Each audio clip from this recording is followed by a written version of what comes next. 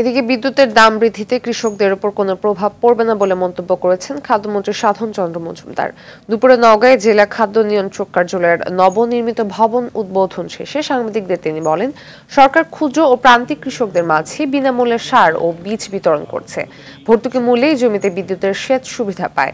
ফলে বিদ্যুতের দাম বৃদ্ধিতে কোনো প্রভাব পড়বে না। খাদ্য সচিব ইসমাইল হোসেন ও খাদ্য অধিদপ্তরের মহাপরিচালক সাখাওয়াত হোসেন সহ কর্মকর্তারা এ সময় উপস্থিত ছিলেন।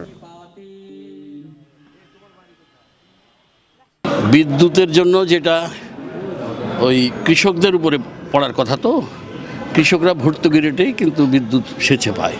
অতএব এটা প্রভাব পড়বে